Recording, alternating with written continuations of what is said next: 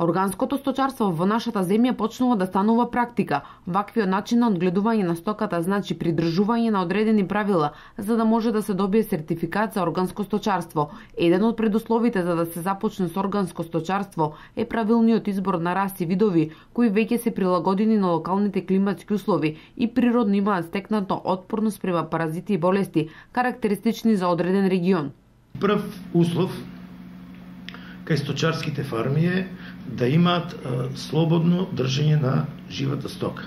Органското производство исклучува да речење сечење на рогови, кастрирање на животни, посечување на опашки и други видови на мерки. Знаеме дека во органското производство се исклучува употребата на синтетика, значи сите лекарства што се примат мора да бидат од природно потекло, биолошко потекло, и не смее да се користат антибиотици и други хемиски субстанции во лечењето на домашните животни.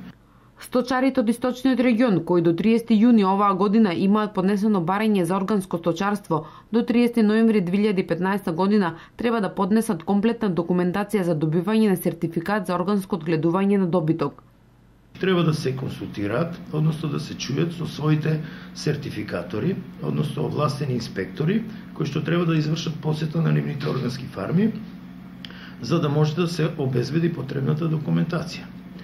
Во Македонија 2600 говеда, 74.000 овци и 3.000 кози е бројот на органски одгледување добиток во нашата земја.